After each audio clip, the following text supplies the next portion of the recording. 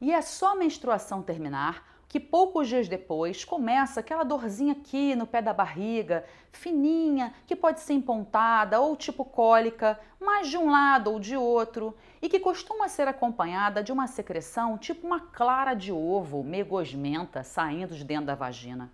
Essa situação te parece familiar? Doutora Mariana Maldonado aqui falando para vocês.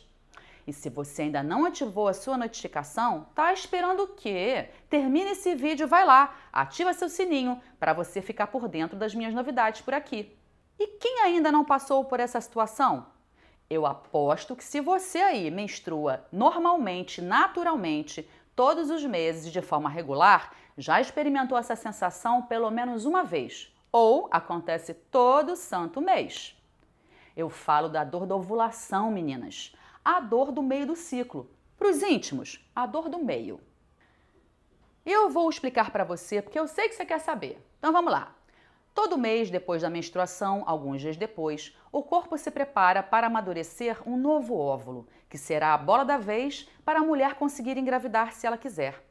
Mas para que isso aconteça, esse óvulo precisa crescer e amadurecer dentro da sua casa, um folículo, que é um tipo de cisto desenvolvido no ovário. Bom, quando esse óvulo está no ponto, madurinho e já crescido, esse folículo se rompe, e isso acontece mais ou menos no meio do ciclo menstrual. Esse folículo se rompe, expulsa o óvulo maduro, que é então captado pela trompa para aí poder encontrar o espermatozoide e ser fecundado por ele. Pareceu confuso?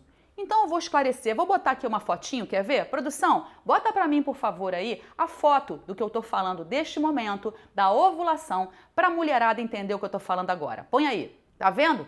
Tá aí a fotinho. Esse é o momento. E ovulação é exatamente este momento. É o momento em que esse folículo se rompe para expulsar o óvulo maduro. E às vezes essa dor pode ser tão forte, tão aguda, que a mulher mal consegue colocar o pé no chão. É, é isso mesmo. A boa notícia é que, como esse processo acontece só uma vez ao mês e é relativamente rápido, essa dor também passa rápido. 24 horas, 48 no máximo é o tempo para ela ir embora. Dependendo do nível da dor, a mulher vai precisar tomar um remedinho para poder aliviar um pouco, né? Mas como é que você pode saber se a dor que você sente é de ovulação? Bom, existem alguns outros sinais do seu corpo que você pode perceber para ver se coincide. Por exemplo, junto com esta dor, também costuma acontecer um aumento do volume da sua secreção, da secreção vaginal, que mesmo normal, aumenta o volume, fica mais fluida, a mulher fica mais úmida, e quando passa às vezes o papel, por exemplo, ela esse papel higiênico na hora de se limpar, ela sente que a secreção está como se fosse uma clara de ovo, mais gosmenta, fluida. É isso aí, pode até ter umas raiazinhas de sangue.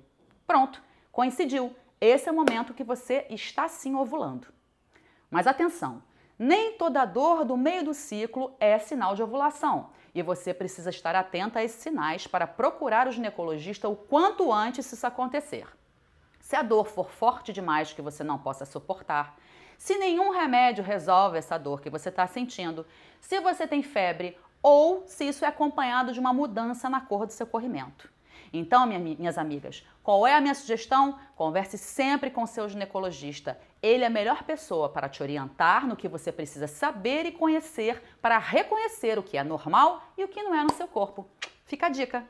E se você gostou desse vídeo, então curte, compartilha, dá seu like, aproveita e espalha para todas as suas amigas, marca elas nesse vídeo aqui para vocês poderem me ajudar a ajudar quem precisa.